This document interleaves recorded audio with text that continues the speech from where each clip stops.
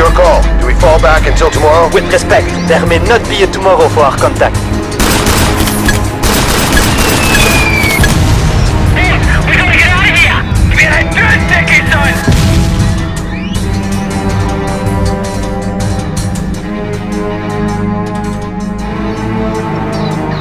Put a few rounds over his head. We gotta get a move on. Fucking crazy?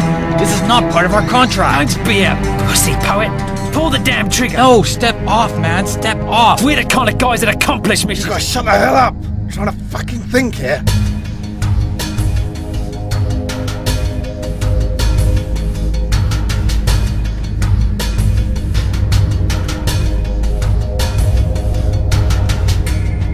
Whoa, whoa, whoa. Surely that's not our concern, boss. Wrong. It is our concern. If this gets out, make no mistake, we're talking about a major international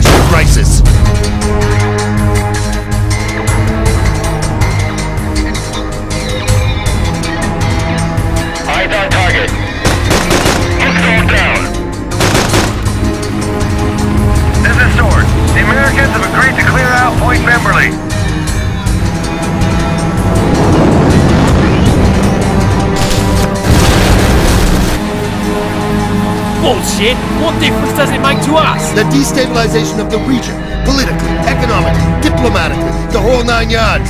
Trade routes closing, assets frozen, fiscal paralysis. Do you have any idea how much the U.S. alone has leveraged abroad? This is Stranger. Finish it. Quickly. Poet, man. You know I can't do this. There's gotta be a way around this. Look around you, mate. It's a fucking scattergraph out here. There's no correlation, no control. Just bodies on the sand and blood on your hands.